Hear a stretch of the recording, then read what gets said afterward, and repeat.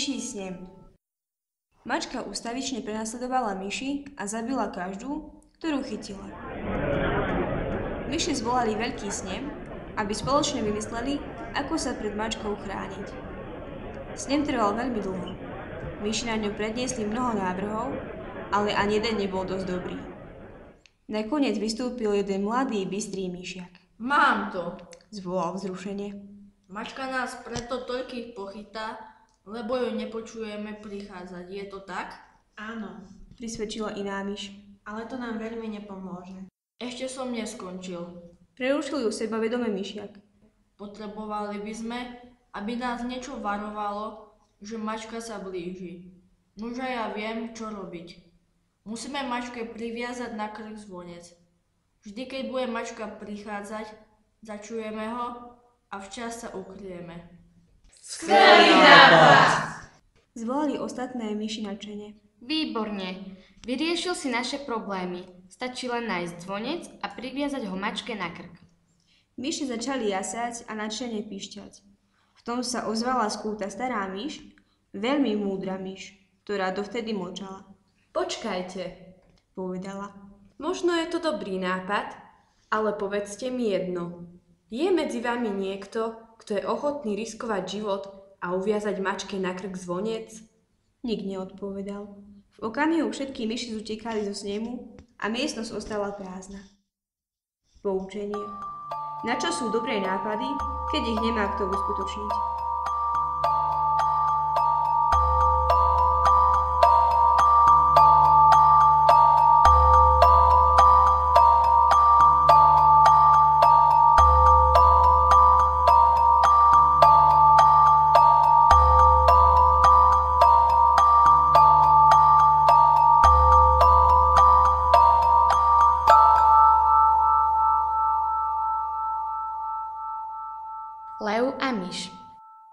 Lev je pyšné a silné zviera, kráľ zvierat.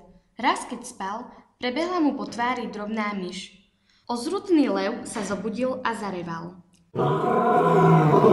Chytil myšku mocnou labou a druhou sa zahnal, že rozdrví stvorenie, čo ho nahnevalo. Ó, mocný lev, Zapišťala myš. prosím ťa, nezabíjaj ma. Pekne ťa prosím, nechaj ma žiť.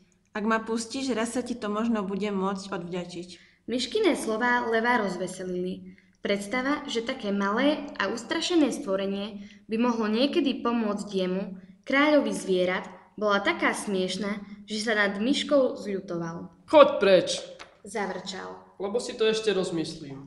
O pár dní neskôr prišla do divočiny skupina poľovníkov. Chceli chytiť živého leva.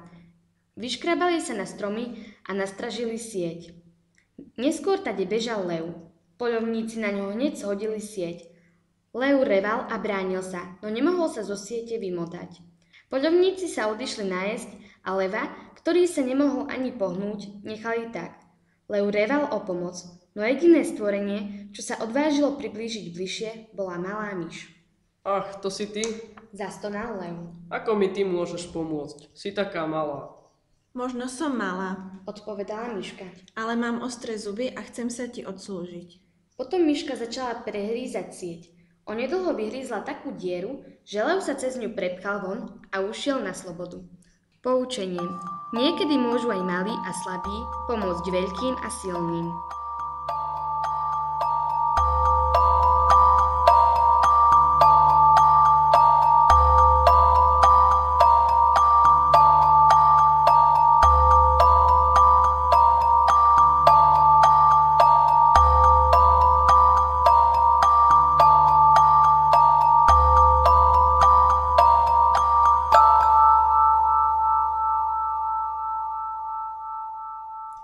Chlapec a lieskovce Maškrtný chlapec uvidel na stole pohár s lieskovcami. Oblizol sa a prikradol k nemu. Vopchal dnu ruku a nabral si zaplnú hrst oríškov. Lieskovce, Zvolal roztopašne. strašne mi chutia. Chlapec si však nabral toľko oríškov, že nemohol vytiahnuť ruku z pohára. Začal kričať od zúrivosti, potom sa zúfal rozplakal.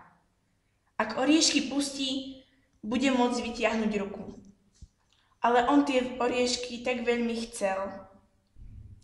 Mladenec, čo sa prizeral, mu prispel dobrou radou. Nebuď taký nenásytný. Povedal. Naber si len polovicu orieškov a ruku z pohára ľahko vytiahneš. Poučenie. Nechci mať priveľa naraz.